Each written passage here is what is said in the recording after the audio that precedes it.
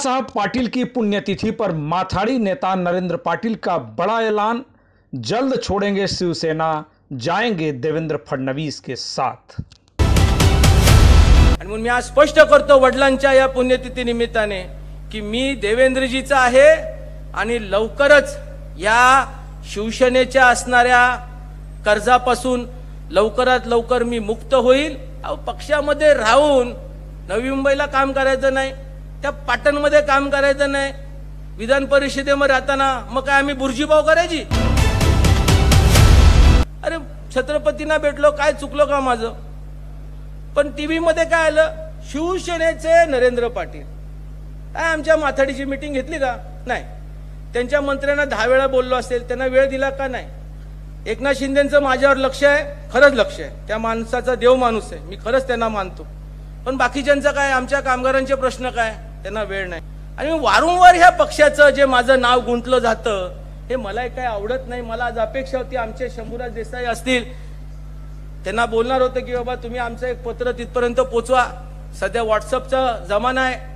आणि जरा आम्हाला मुक्त करा. फक्त एकच आहे पत्रकारांना सांगतो. बेचाळीस लाखचं कर्ज माझं शिवसेनेवरती आहे.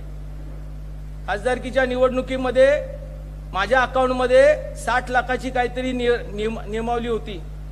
आणि त्या हे मुद्दा म्हणून सांगतो तुम्हा लोकांना माहीत नाही आमच्या पदाधिकाऱ्यांनाही माहीत नाही. पण ते बेचाळीस लाख माझ्या खात्यावर नव्हते. आणि निवडणूक आयोगाचं म्हणणं होतं की तुमच्या खात्यामध्ये साठ लाख रुपये काहीतरी असले पाहिजे तर खासदारकीचं काय नियमावली आहे? मला बेचाळीस लाख रुपये त्यावेळेला तिकडचे खासदार अनिल देसाई वाटतं अनिल देसाई आहेत. त्यांनी उद्धवजी ठाकरे साहेबांची चर्चा करून ते मला दिले. माझं तेवढं मोठं माझं कर्ज आहे. माझं ते एवढं मोठं माझ्यासाठी कर्ज आहे की ज्या पक्षाचं कधीच मी काही म्हटलं नाही.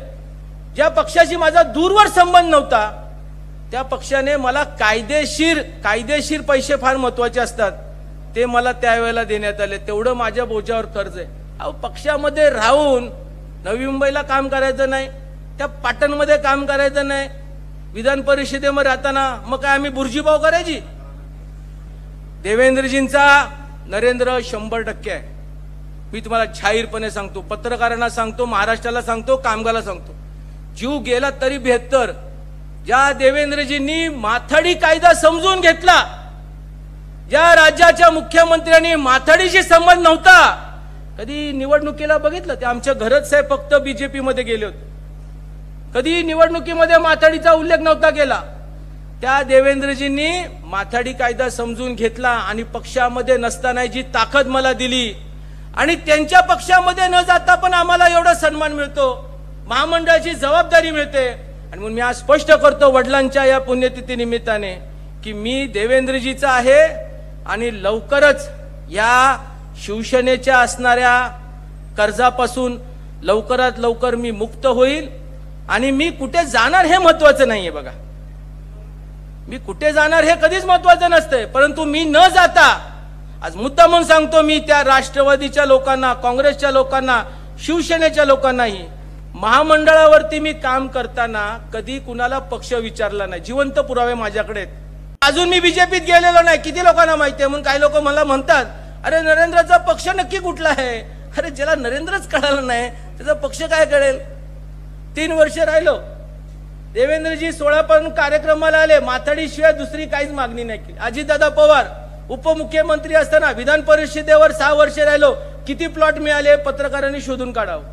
किती पेट्रोल पंप मिळाले कुठे आम्हाला कॉन्ट्रॅक्ट मिळालं शोधून काढावं?